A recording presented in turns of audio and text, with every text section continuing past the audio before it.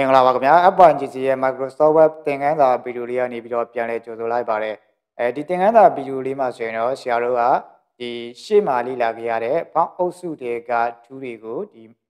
ဒီနေရာကမဟုတ်ပဲအခုမြင်တွေ့နေရတဲ့ဒီအုပ်စုတွေကနေမဟုတ်ပဲねတခြားဘယ်နေရာကနေသုံးလို့ရသေးတယ်လဲဆိုတဲ့နီလန်ကိုလေ့လာကြည့်မှာဖြစ်ပါတယ်ဆိုတော့အဲဒီဖောင်းအုပ်စုရဲ့အောက်မှာဆရာတို့ဒီမှာမြားလေးရှိတယ်ပေါ့နော်ဒီမြားလေးကိုဆရာတို့ချက်နေကြည့်မယ် နှိပ်ကြည့်လိုက်တဲ့အခါမှာအခုလိုမျိုးဒီမှာဖောင်းဆိုပြီးတော့ပေါက်ကလေးကြလာနော်ဒီဖောင်းထဲမှာဆိုရင်ဖောင်းရဲ့ advance ရဲ့ဆိုပြီးရှိတယ်ပေါ့နော်အဲဒီဗီဒီယိုမှာတော့ဒီဖောင်းအောက်ကအကြောင်းအရာတွေကိုလေ့လာကြည့်ဖြစ်ဆိုတော့ဒါကဘာလဲဆိုတော့ဒီဖောင်းအောက်မှာဆရာတို့ကဖောင်းနေဖောင်း style နေ site တွေ site တဲ့ပြင်ဒီဖောင်း color တွေ underline style တွေပေါ့နော် underline color တွေတက်တင်ဒီ effect ထဲမှာဆိုရင်လည်း strike through တို့ဒါပဲ strike through ဒါတွေပါလာခဲ့တယ်ဆိုတော့ဒီຢာတွေကဆရာတို့ အဲရှေ့သင်္ကန်းသားမှာလေ့လာခဲ့တဲ့ဖောင်းအုပ်စုတွေမှာရှိတဲ့တူးတွေပဲဖြစ်ပါနော်ဆိုတော့ဒီနေရာကနေဓာတ်ရိုက်မသုံးခြင်းဘူးဒီဖောင်းဘောက်ကိုပေါ်ပြီးတော့မှဖောင်းအောက်ကနေပြီးတော့သွားပြီးတော့ပြင်နေဆိုရင်လည်းအဲရတယ်လို့ဆိုလိုတာဖြစ်ပါဆိုတော့ဒါလေးကိုဆရာတို့လေ့ကျင့်ကြည့်မယ်ပေါ့နော်အဲလေ့လာကြည့်မယ်ဆိုတော့ cancel လောလောဆယ်ပြန်နှိပ်လိုက်မယ်ပြီးရင်ဆရာတို့ဒီမှာရိုက်တဲ့အစာလေးလိုက်ပြီးတော့ရိုက်ကြည့်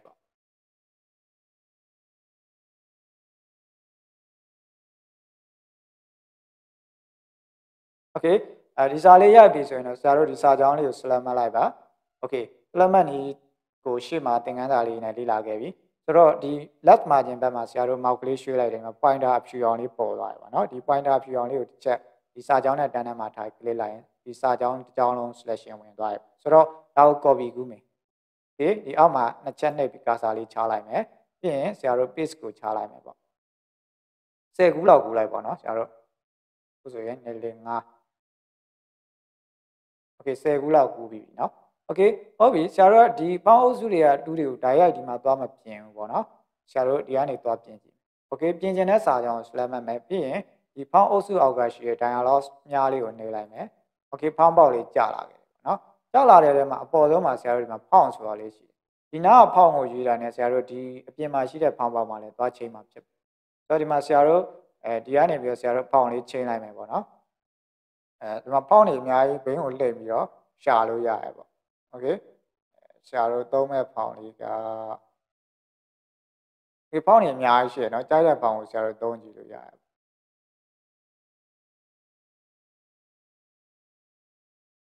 โอเคဒီ area areas black ဆိုတာလေးရွေးလိုက်โอเคမှာ area black လို့ရွေးလိုက်နော်โอเค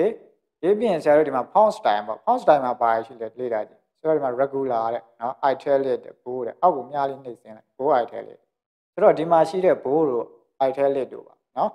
normal ဆိုတာကတော့ဘိုးလည်းမလို့ဘူး italic လည်းမလို့ဘူး regular ဆိုတာပေါ့နော်ဘိုးလည်းမလို့ဘူး italic လည်းမလို့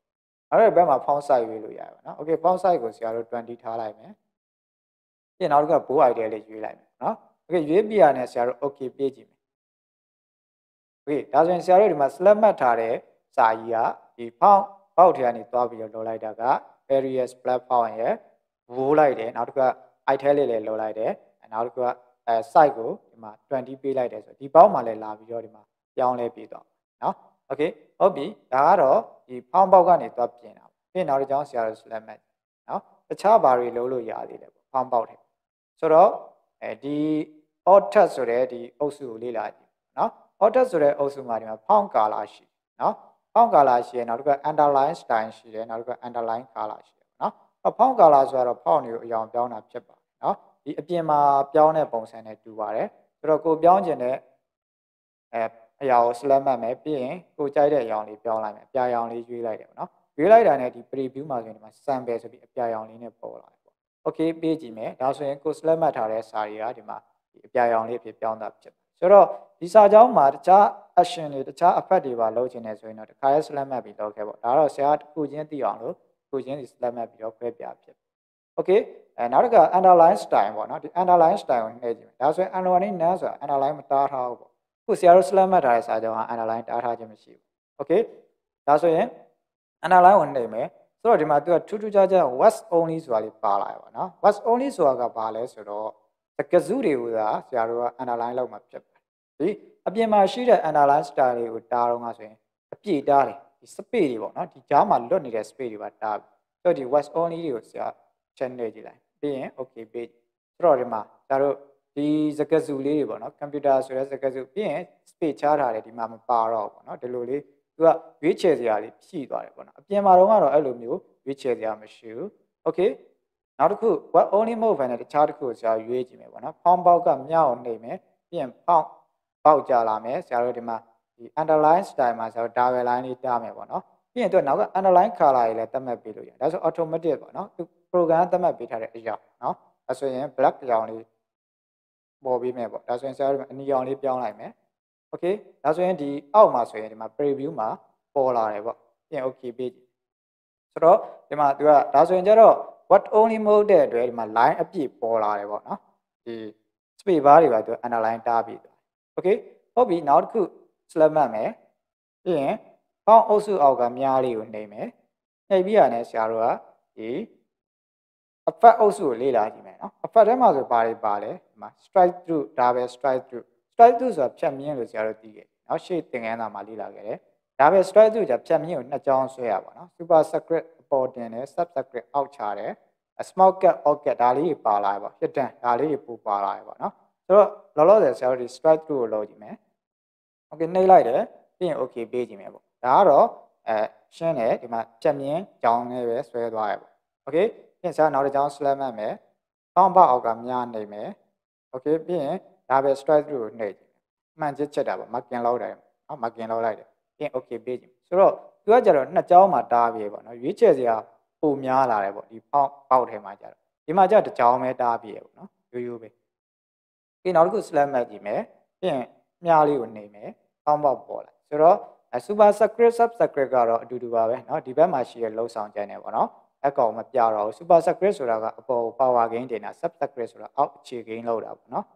ကို small cut လေးကိုဆရာတို့လေဒီဘက်မှာ small cut ပေါ့ small cut ဆိုတာဘယ်လိုပြောင်းလဲသွားလဲပေါ့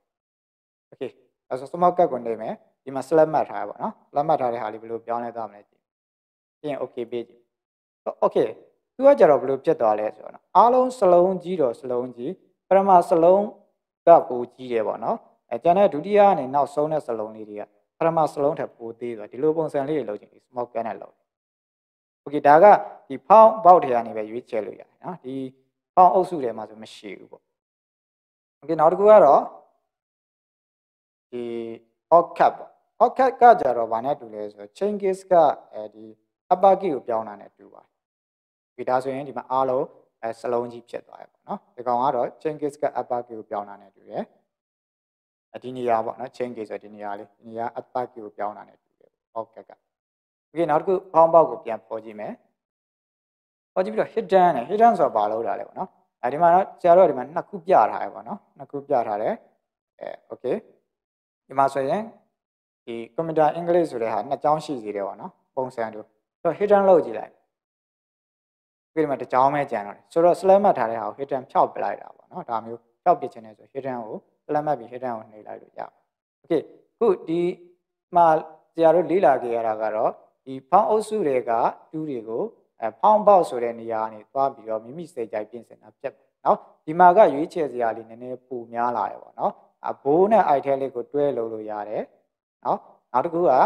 ဒီ strike through တွေဆိုရင်ဒါပဲ strike through လုပ်လို့ရတယ် underline style ဆိုရင်လည်း အဲလို line style နဲ့ရွေးချယ်စရာဒီပိုများပြီးတော့နောက်တစ်ခုကသူမတူတာလေးတစ်ခုက watch only တကစုတွေကိုပဲဆရာတို့ underline တားတဲ့ပုံစံလေးလုပ်လို့ရတယ်ပေါ့နော်နောက်တစ်ခုက small cut လေးလုပ်လို့ရတယ်နော်အဲဒါပဲ strike through လေးလုပ်လို့ရတယ်ဒါလေးပို့ပြီးတော့လုပ်လို့ရတယ်ဆိုတော့ဒါကတော့ဒီဖောင်းအုပ်စုထဲမှာရှိတဲ့တူးတွေကိုဆရာတို့ဒီမတူညီတဲ့ဒီဖောင်းပေါက်ကနေပြီးတော့ဆရာတို့လေ့လာကြည့်ခဲ့ကြတာဖြစ်ပါဆိုတော့အဲဒီ ဟာပဲလားဆိုတော့မဟုတ်ပါဘူးเนาะနောက်ထပ်ဒီဖောင်းပေါက်ထဲမှာလေ့လာစရာလေးရှိနေပါသေးတယ်ဆိုတော့နောက်ထပ်ဆရာသင်ခန်းစာလေးတွေနဲ့ပဲဒီဗီဒီယိုလေးတွေနဲ့ပဲဆရာဆက်ပြီးတော့ရှင်းပြမယ်ဆိုတော့ဒီလောက်နဲ့ပဲဆရာရန်နာလိုက်ပါမယ်ဆိုတော့အဲ